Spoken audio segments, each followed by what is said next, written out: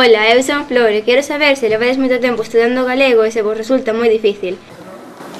Uh, Chiamome Octavien, son estudante de doutoramento na Universidade de Oxford e estudo galego con Diego.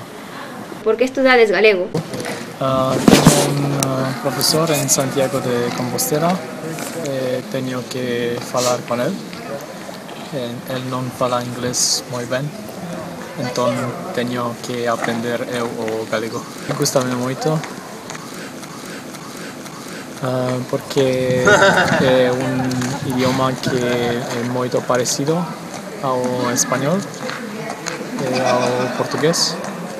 Eh, yo, eu son francés e romanés, entón uh, gustanme moito as idiomas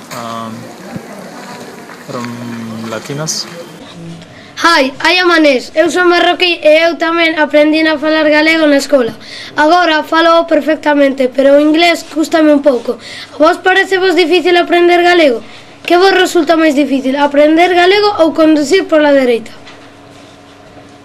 Um, é un pouco difícil porque eh, é moito, moito similar um, ao español e ao italiano mas uh, ah, tenho un profesor moi doado. E con el é moito máis fácil.